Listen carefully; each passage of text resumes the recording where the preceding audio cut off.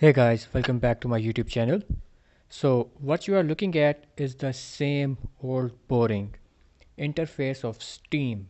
So Steam you must have heard of is a website or application from where you purchase games and keep it in your library. So what you are looking at is the same old boring interface of Steam.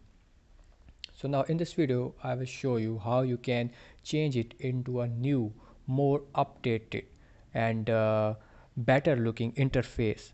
And the interface now you are looking at is that one.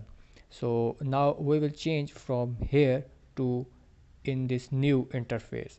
So watch this video till end. This is the interface of steam deck. So let's start. So now guys uh, we will change the interface of our steam from you know conventional to the you know newer version which is the steam deck interface version. So for that just uh, right click on your uh, you know steam shortcut icon then go to properties. Now in properties in the target section uh, you are seeing these you know steam.exe line. Now here click on uh, press the spacebar icon once then uh, dash then type game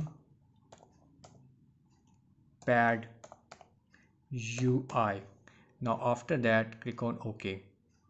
It uh, and provided the administration permission click on continue and uh, that's all you're done. Now when you launch the steam you will be seeing the you know uh, newer version you know steam deck version. So that's all guys. I hope you uh, follow this video and change the interface of steam. Goodbye